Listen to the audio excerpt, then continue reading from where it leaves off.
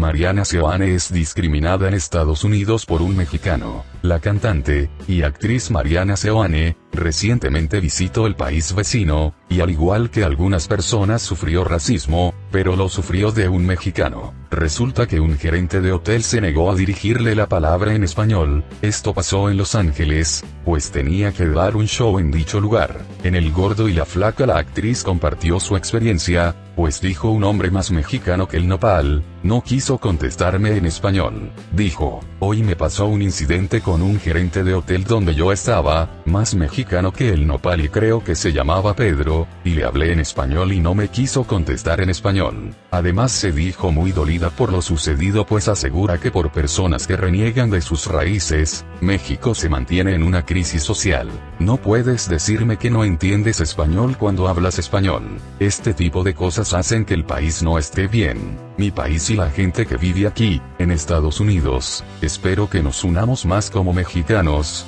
finalizó. Todo esto porque Mariana le habló en español, el gerente no quiso contestarle. Pero dime, ¿crees que por hablar español no debía contestarle o no? Los comentarios están abiertos. Suscríbete para más videos.